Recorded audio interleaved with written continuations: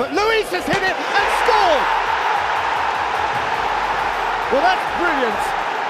Spontaneity of the highest class.